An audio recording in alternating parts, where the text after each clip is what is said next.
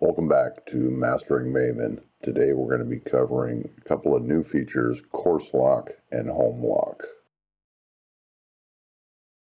Course Lock and Home Lock were features that were previously available in the native DJI app that have been discontinued, but the Maven developer has resurrected. With the app open and the drone powered up, we'll tap the drone to connect Tap the takeoff button to get it up in the air.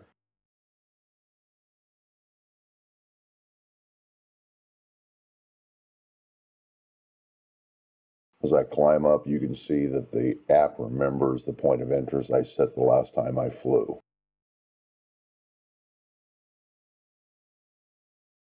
Tapping the three dots, I can bring up the menu and select Course Lock. With course lock activated, a line is displayed relative to the current orientation of the drone. As I begin moving forward, you notice the drone stays on that line regardless of the orientation of the yaw axis. Unlike the cable cam feature that has an endpoint, course lock will extend that line in either direction continuously.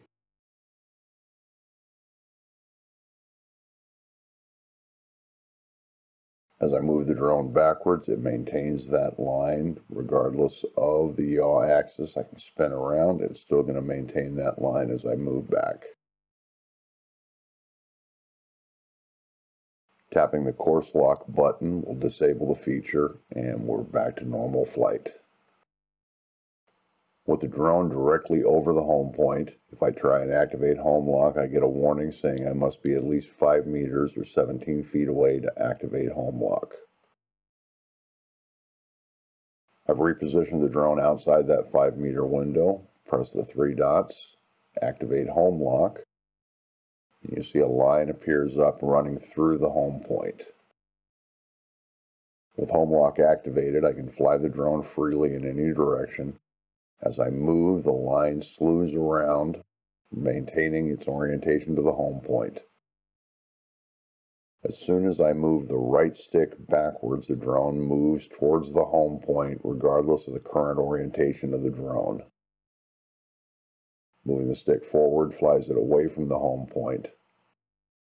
And again, moving the right stick backwards brings the drone towards the home point regardless of the orientation of the drone.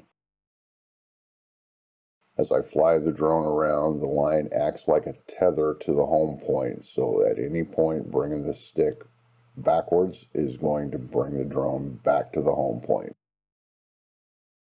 Tapping the home lock button will disable the feature and we're back to free flight.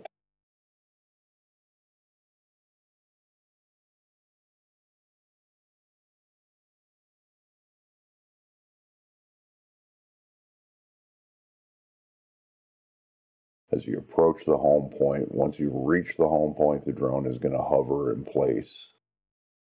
At this point, I've got the right stick backwards, holding it straight down, and the drone is not moving because it's reached the home point. All right, that is the course lock and home lock feature. As always, if you feel I've earned it, I'd appreciate a subscription, like, share, and subscribe. Thank you, and we'll see you next time.